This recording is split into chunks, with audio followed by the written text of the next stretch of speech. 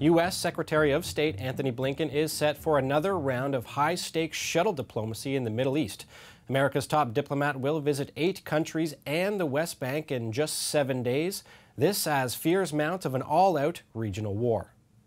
It is in no one's interest, not Israel's, not the region's, not the world's, for this conflict to spread beyond Gaza.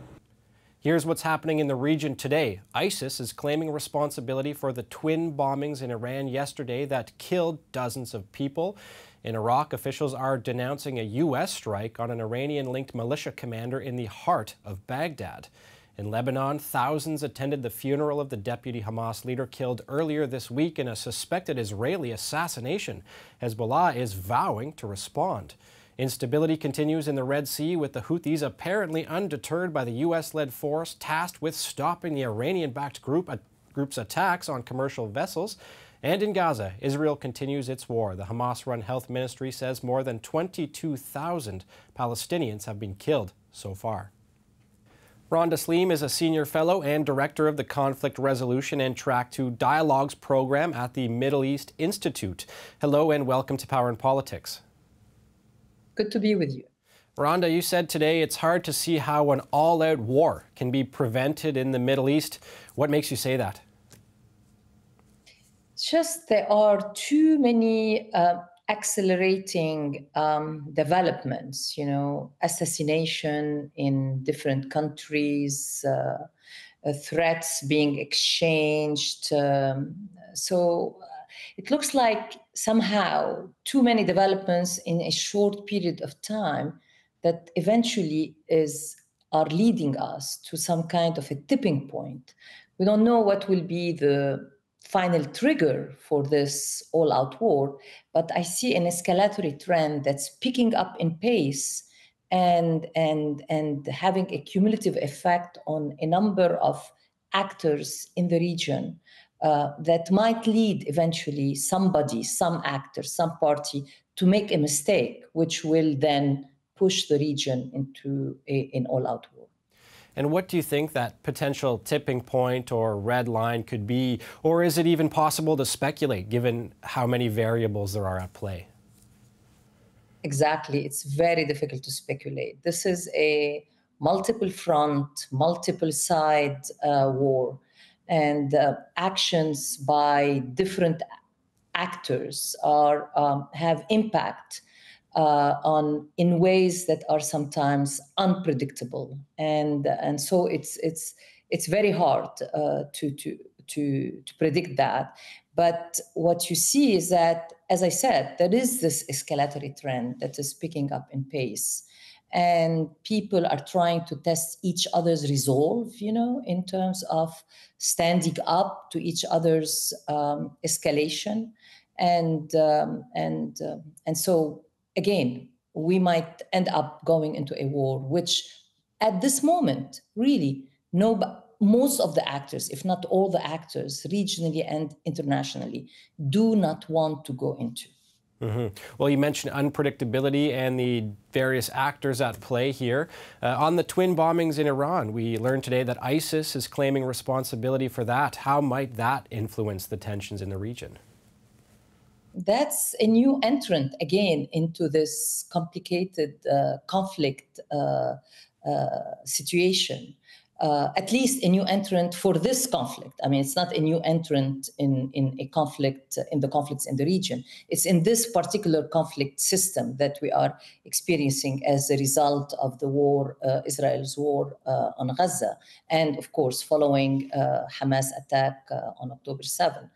Uh, so that will complicate things because it's ent- it's it's bringing into a sectarian dimension, bringing in a conflict between uh, you know ISIS and Iran that has always been there, that has been kept you know at bay at different points. Although ISIS has you know uh, organized attacks in the past against the Islamic Republic and and and that is going again to add another level of tension to an already complicated conflict situation. I want to turn now to Lebanon. Thousands of people there attended the funeral of uh, assassinated Deputy Hamas leader Salah el Aruri. Hezbollah has vowed to respond against Israel, though Israel has not confirmed or, or denied that it is in fact responsible for this. Uh, from your vantage point, what is Hezbollah prepared to do? Yesterday, uh, Hezbollah Secretary General uh, gave a speech in which he said, uh, very much in line with the statement issued by Hezbollah following the assassination, that this is not going to go unanswered, that there will be a punishment to follow. At the same time, in the same speech, he said that um, their escalation on the Lebanon southern border has been incremental, proportional, again, seeking to avoid dragging the war or being baited into a larger war by Israel. I would, I would assume he's going to follow the same kind of criteria in designing this response to Al Aruri assassination. But we also heard a statement from Hamas saying that the response to Al Aruri assassination is going to come from Hamas itself and maybe inside Palestinian territories. So we don't know yet, mm. but we know that Nasrallah has said that they will answer they will answer uh, to this assassination. And and and based again on, on that record uh, so far it looks like he said there will be a balanced response to avoid dragging the war into the escalation while saying that if where if they were to be forced into a war there will be no limits to what kind of response they will they will have now, amidst all this, U.S. Secretary of State Antony Blinken is headed to the region on a diplomatic mission. His trip will include a visit to Israel, where the government insists its war against Hamas will continue for months. What do you make of the Blinken trip, and what are you expecting to see? I mean, again, the US has been trying to de escalate the situation and uh, prevent a regional expansion of the war that's taking place in Gaza.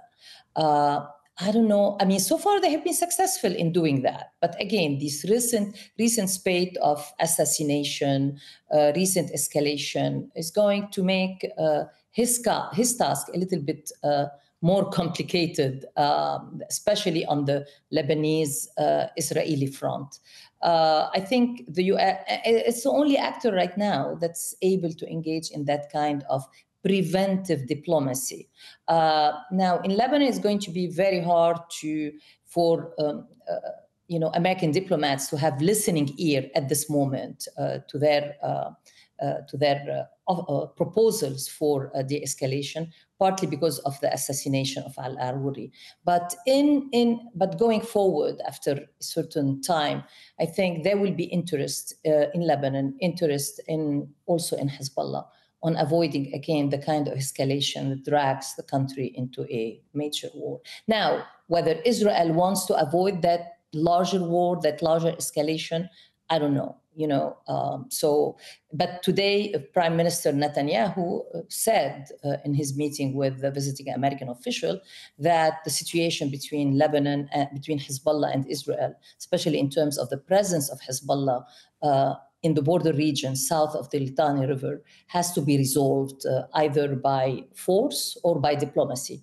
I hope that American diplomacy will win the day and that force will be prevented and avoided. Randa, on that note, I wanted to ask you about one more topic. The U.S. and 12 of its allies, including Canada, issued a warning again yesterday to the Houthis to stop the attacks in the Red Sea. The UN Security Council issued a statement on that today. How do you see that particular flashpoint playing out?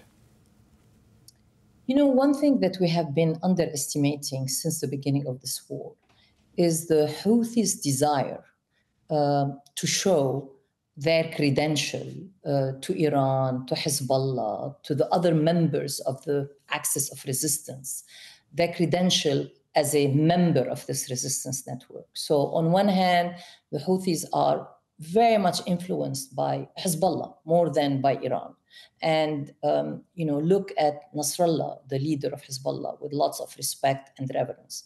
But and and and they are likely to listen to uh, you know, uh, guidance or to not orders, but guidance from Hezbollah to uh, tone down their actions or to refrain from certain kind of action that might cause a large escalation. But on the other hand, also Houthis dance to their own tune, you know, and and and uh, somehow we have to be cognizant of the fact that there are limits to how much they can be controlled by Iran, by Hezbollah, and their desire of establishing themselves as a as a strong, uh, reliable member of the axis of resistance. Mm. Well, on a related note, Randa, you speak about who listens to who and how much pull uh, some of these actors have with each other.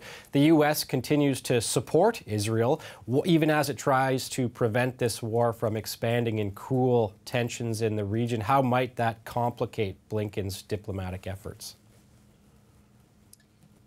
The U.S. has lost a lot of credibility uh, in, in a good part of the region, uh, not necessarily in, in the Gulf, in the Arab Gulf, because I think those countries uh, have have so far, you know, tried to uh, uh, have tried to make the case for avoiding the war, avoiding the expansion of the war, but at the same time, they, there is no love lost between uh, them and the and Hamas. There is no love lost between them and Hezbollah. There is no love lost between them and the Houthis. And so, in in one way, if the war uh, were to weaken these elements and the role they can they play in the region, be it Hezbollah, be it Hamas, be it Houthis, be it their patron or their uh, their their stronger ally, Iran I don't think they're going to stand in that in, in, in, in the way of this war. At least they have shown until now that um, they are not going to be standing in the way, despite uh, the calls for uh, for ending the war.